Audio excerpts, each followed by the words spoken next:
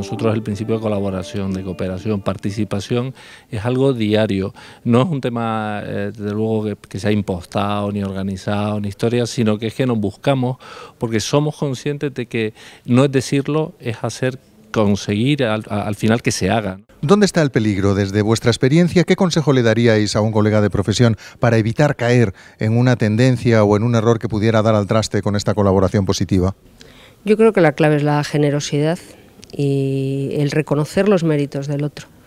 Y yo creo que cuando eres consciente de que, de que la colaboración aporta y de que es fundamental, si eres generoso lo consigues. Yo creo que normalmente los problemas surgen de esas cosas que ocurren a veces en las organizaciones, de esto lo he hecho yo y se está poniendo el mérito fulanito. Entonces yo creo que se tiene que ser generoso, justo, en esas políticas de reconocimiento que nosotros creemos mucho, eh, tienen que ser abajo, pero también tienen que ser laterales y yo creo que, que el reconocernos mutuamente la labor del otro pues es fundamental. Objetivos comunes, eh, luchar por el mismo reto y al final tener la sensación de victoria conjunta, que es lo que al final te lleva a, a, a hacer más piñas si cabe. Hay que romper y de hecho nosotros luchamos mucho con romper los silos y creer que tu responsabilidad está por encima de la demás.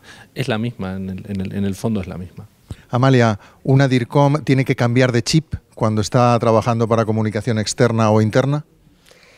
Yo, hombre, cambias de chip, pero yo creo que también es una cosa vital es, y por eso a mí me parece importante que la comunicación interna esté muy, alinea, muy en comunicación, porque me parece creo que es fundamental es que la comunicación que das a, a cualquier stakeholder externo eh, no tenga ningún tipo de, de, diferencia con la que das a los stakeholders internos.